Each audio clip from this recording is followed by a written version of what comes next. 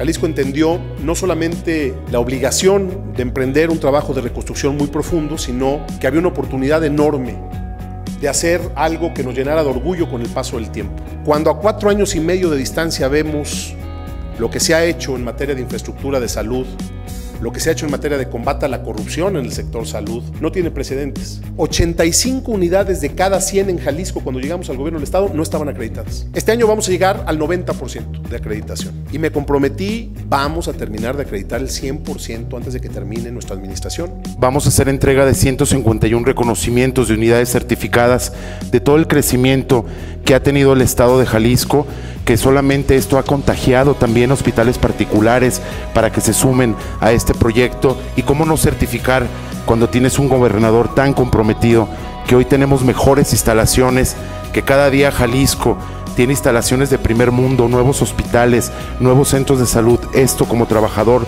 contagia. Esto viene de la federación a acreditarnos, no es algo que nosotros propiamente y de forma interna nos demos los certificados. Y es importante recargarlo porque determina los criterios de capacidad, seguridad y calidad que se proporcionan en salud y que tienen como principal objetivo la mejora de la calidad de la atención y la seguridad de los pacientes. Obtener la acreditación no es solo un logro institucional, sino un compromiso con la excelencia en el cuidado de la salud. Se ha dotado de equipo, mobiliario y recurso humano necesario para su funcionamiento. Sin embargo, la acreditación no debe ser vista como un fin, sino como un punto de partida. Juntos podemos promover la cultura de la calidad en los diferentes niveles del sistema de salud.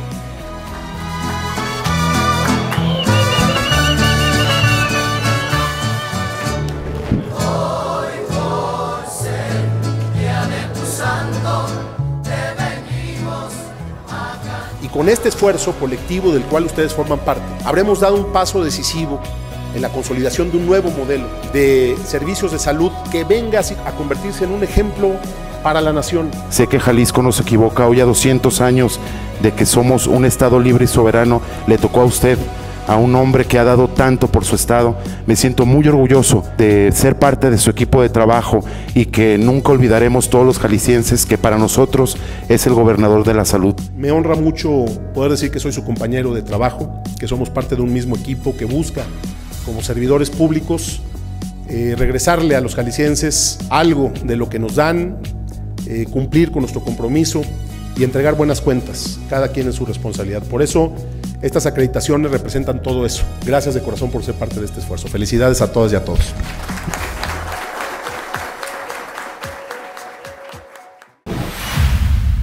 Gobierno de Jalisco.